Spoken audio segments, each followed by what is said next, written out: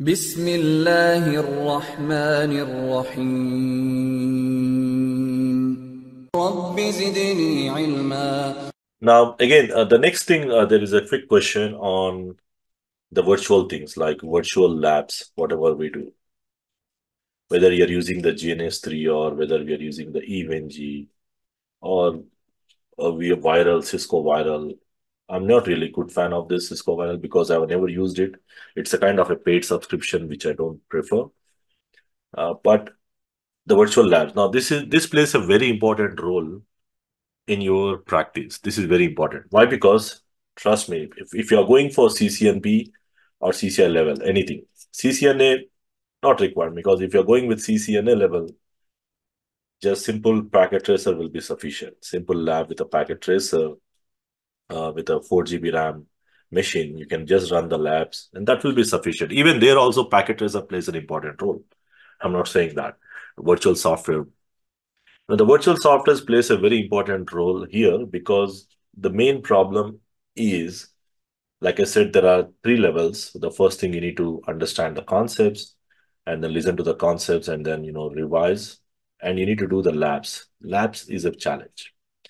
See, the majority of the problem here lies here because majority of the institutions, especially what they do, they generally charge a very huge fees and they have a lab setup and they show you the lab setup and they will say that, okay, you will get a lab access. Uh, there will be a time limit while you do the course and then you have a lab access and you, you, you have to utilize the labs within that specific period of time. Like generally how it works, any training institution, how it works is, let's say you are doing a course for three months, which means you have a three months of lab access, which is something you do remotely or go to the they will give access. And of course, there will be a time limit on that. And you have to make sure that you complete within the time frame, within the time limit. Are restrictions. So the good thing about this is you don't need to do anything. You just simply connect and you have a pre-built labs. Everything is pre-built for you. You just simply connect, you just simply start using it. So this is something very good at this point. I generally say, okay, this is very good. I'm not saying that's not really a good option.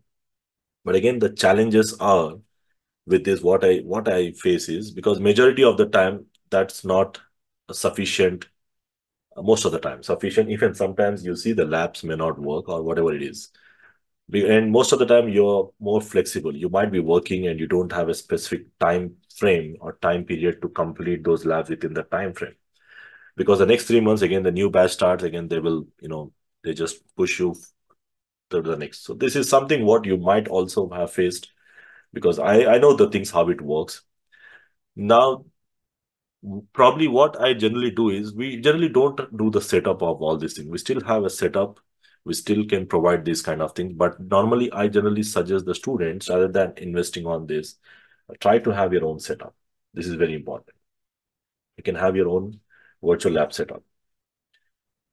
Now, why? Because uh, most of the time, you know, you can say, okay, virtual lab setup is very complex and difficult. But at the end, that will be uh, very much helpful, especially in your in your learning process. Like this setup. Now, one of the challenge. Now, I'll, let me talk about the challenges first. What you'll face with this, because everyone, as you people are doing CCNP or or whatever, you know, you just started using the GNS3 tool, or you just started using the EVE-NG tool. You you start getting a lot of challenges. The first challenge you face is the PC setup the PC configurations or the laptop configurations. Because to run these labs, especially for CCNP enterprise level, if you're covering ENCOR ENARSI papers, you need to have at least 16 GB of RAM with an i3 or i5 processor. This is the minimum to run these labs. To run routers and switches, roughly four to eight routers for running router and switches in the lab scenario. Of course, if you're doing mock labs, more devices, you need more space. So the ideal situation will be like 32 GB with i7 processor. This is something the ideal for uh, the best one we can say for enterprise. And again, if you're going for any, even for the ASA codes, also this will be sufficient. So there are few specific, you, this, this 16 GB will be sufficient for majority. Now, many people find the challenge here only, especially the setup. Now, this is where most of the people, especially in India and Hyderabad here as well, they have the challenge. That's where we have this online offline kind of access uh, for the labs and all. That's the first thing. Of course, we are also uh, trying to make it uh, remote online as well uh, very soon. That is one option. Now the thing is, so if you can set up your own lab setup, this will give you more flexibility for you. Okay. So the challenge is the configuration, and the second thing is the setting up the things. The second challenge is, you know, of course, we do share the images and other softwares, everything. Uh, also, we share the video tutorials to for you to refer and go through with that to set up the things. You'll find some challenges. We can, uh, based on the screenshot, we can use some assistance. But at the end, make sure that this will work. Many people drop here only, like even in my CCNP class. I'll, I'll just check with you guys as well because many people just stopped here. Even I, I met few people uh, recently, even when I discussed with them, they just drop here because they're having a challenge in setting up the things, setting up the things. So now, just like you have invested in, in the courses, it's really important you to invest on this uh, high-end device. Now, technically getting this configuration, and especially if you're planning for CCIE level, or SD-WAN course or any firepower course or Cisco ISE. These are advanced courses. If you're planning, this is the minimum configuration you need to have. 32 GB with i7 or any other processor. And most people, minimum configuration, of course, the best configuration is to have a 64 GB RAM with i9 processor or maybe your Xeon processor or Itanium processors, these kind of things. Now, this is the best uh, configuration for the CCI level labs or any advanced labs. Now, now again, one more challenge uh, the people, the, the, the students will ask is, okay, will I, if I go with a laptop, I generally have the flexibility to carry around. Trust me, laptops are not good enough because I have this configuration laptop with me, alhamdulillah. So, but again, the challenge is it, the virtual softwares, uh, they, because at the end, you know, you just fix everything in a small box, right? You fix the high-end processor, high-end CPU, high-end memory, everything you just integrate inside one a single box, and that is more compact. That's not a that's not really a recommended option. Of course, it's quite very expensive.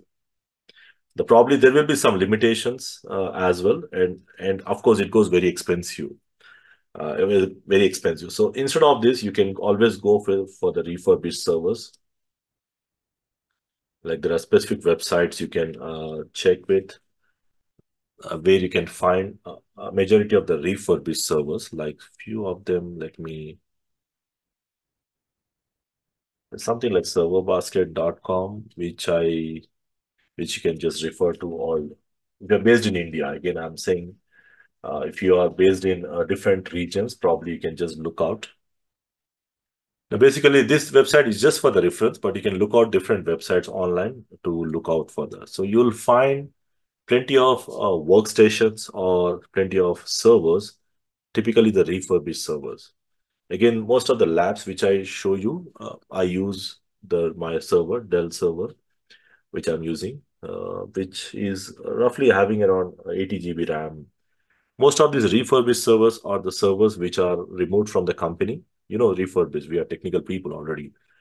So these servers, uh, basically, they are kind of a refurbished servers where you can optimize and get these things. So this is the maximum it supports. Don't expect that, you know, this much of memory will provide you. But basically, there is a maximum RAM you can add up to. And depending upon what uh, you select, like if you're going with the 64 GB of RAM with a 1.2 TB hard disk, it is roughly around $1,000. $1,000 with a I think if you're if you're attending online in USD, roughly around 1000 USD, this uh, uh, two Intel Xeon processors, 16 core processor. Now, this is a good investment you have to make, especially if you're going for CCI level. Even, you know, maybe after two years, three years, you still want to go with, you still, you know, you still want to go to advanced topics, right? You don't stay there only. Even if you are a fresher starting up, uh, adding some couple of years experience after two years you still want to upgrade yourself so when you have your own dedicated setup this will give you more flexibility to run the labs anytime any setup any kind of topology and save your configurations that's a good thing You know, if I even if I provide you the racks remotely, the problem is whatever the labs you do, whatever the configs you save, that will be gone. After one month, that will be gone. You know, I cannot keep all the configs, all the files every time. And that too, there is a limitation. See, I'm not really a big fan of that. Like I said, I don't really want to set up the things, uh, provide some remote racks and all. That's kind of a fancy, you know, marketing terminology which they use generally for that. Now, the reason is I want you to have your own setup because at the end, we are network engineers, we manage the infrastructure. You should be in a position to manage your own server, right? Obviously, that's something what I feel. That's something you have to be. So probably this is kind of a rough configuration you can see. Uh, you will find these servers at a very low cost. This is a proper investment you can make. And you also have a, your own laptop which you carry. You can always use AnyConnect. You know, there are many applications you can connect. If your server is at home, you can ask to power on and then uh, open up AnyConnect and use that AnyConnect application. If you're doing it on internet or if it is in the local LAN, you can use remote desktop connection, like I use remote desktop connection for the labs. That's something uh, recommended because you don't need, because many people uh, give an excuse that, you know, if I have a laptop, that will give more flexibility for me trust me that's not that's not flexibility. We just think it's a flexibility but that will compress your you know like i said it will uh, make your option very expensive and also it's more kind of a compact which is really not uh, recommended. But this servers you invest on any one server trust me it will run for at least 5 to 10 years. For the next 5 to 10 years it will run for you. Alhamdulillah, my server is also very old. Uh, I can say it's more like 7 to 8 years old which I got for 128 RAM. Almost this much. This is what I have right now. Uh, similar to this one, the second one. Almost the same budget what I invested around that time. But it's like running, you know, you still have some challenges. Of course, uh, you maintenance kind of things that may come across one or two years later on. If there is any kind of uh, like sometimes it happens, you know, that that is kind of a very rare kind of thing. So this is one thing I recommend. And of course, you have to do the setup. Okay. You have to make sure that your setup is running all these things. Uh, clear. So make sure that you do this setup for the labs. Uh, either use GNS3. And one more thing, if you if you find it easier, uh, you can also invest on EVE-NG license, pro license. Now this is roughly uh, around uh, 150 or 150 USD somewhere around EVE-NG Pro license. This will give a very easy option.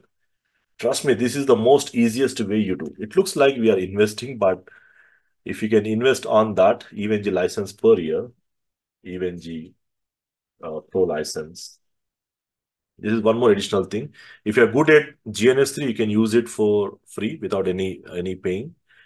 But if you do this with a Pro license, this will give a more stability for your labs because majority of these licenses, like this is how it costs roughly around 200 US dollars. This is again kind of an yearly license, one year license. This is something you can plan in the future, especially if you're doing advanced courses. Again, not required at the CCNP level. Uh, if you're doing SD-WAN or Cisco uh, FTD or CCI security or CCI enterprise, this is one investment because majority of the time, what happens is, especially even when I do my labs, sometimes the GNS3 labs uh, takes much CPU. And the problem with EVE-NG is majority of the advanced images like SD-WAN images or uh, what I say, the FTD images or any other Cisco ISE images, they don't work with the free license. But they work with the stable, with the pro license. That's how they integrate it. Obviously, they have to make money out of it as well, right? They have to earn as well. Uh, that's a simple thing. Everyone do that. So that's how it is. GNS3 is good option. I'm I'm very comfortable with GNS3 for NP level. And some challenges, sometimes, you know, I use either of these options. That is one more initial investment you have to do. Of course, the time you have to invest, like I said in the previous sessions, time is the one investment. Of course, the second investment on this service as well. And you have to make sure that your setup is running. It's mandatory. You cannot just take it easy, you know, okay, it's not running. I have some this error because the errors will come depending upon the PC configurations. Like if you take this laptop, you know, this is the one what I'm running, just a simple to show you. Uh, if I start I, I cannot run this GNS3 VM here. This is the issue again. Now you have to figure out this issue and see what is the solution and then fix it, right? You cannot stop it there. Of course, I stopped it here because I don't use my laptop much for the advanced labs. That's the reason I didn't set up. But if I have that only option to do, then definitely I have to do it. Okay. So make sure that you have this virtual setup. Now, to become a CCI, this is very important, especially if you are planning to expertise the subject with the labs with a more flexibility. And also if you're planning for CCI, this is a mandatory thing. I did three CCIs on the same, of course. CCI security, service provider, and your routing switching enterprise. And especially these two, service provider and ENT, complete 100% I did on this. And in terms of security, there are a few things which will not work. So 70% of the things we did on this. Of course, I had to rent some rack, uh, rack rentals uh, from the providers to practice some uh, advanced things because 70 to 80% of the things may work. But at the end, if you want to expertise the subject, this is important. Even data center or any other virtual simulations, this is very important for you to do, okay?